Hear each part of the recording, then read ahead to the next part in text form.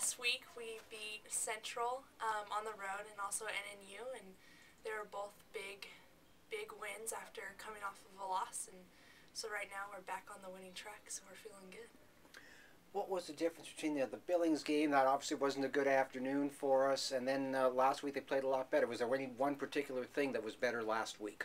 Um, I think our defense really stepped it up, and obviously when your defense is going, your offense follows closely after that. And so, definitely against Central and NNU, we really defended them well, and we really tried. and mean, we just got back in the swing of things. So, and that's how we really got the flow back and winning.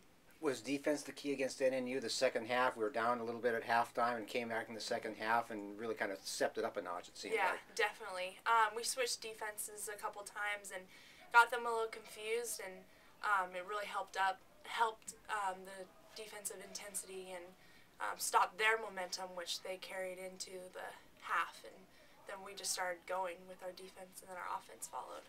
So it was good. This week's opponents, uh, neither one was picked very high in the preseason poll, but here St. Martin's knocked off Alaska Anchorage, and Western Oregon has won five of its first seven games. Can you talk about these two teams coming up?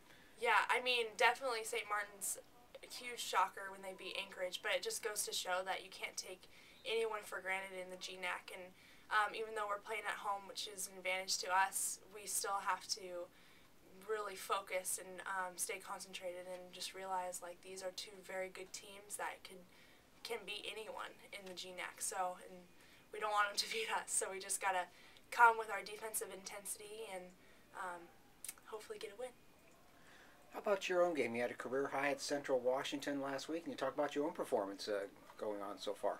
Yeah, I mean, it was definitely it was a good shooting night, um, and that was really fun. But a lot of it too is we were really moving the ball around, and so I mean I had a lot of wide open shots, including a lot of my teammates had wide open shots. So it was just a fun um, offensive game.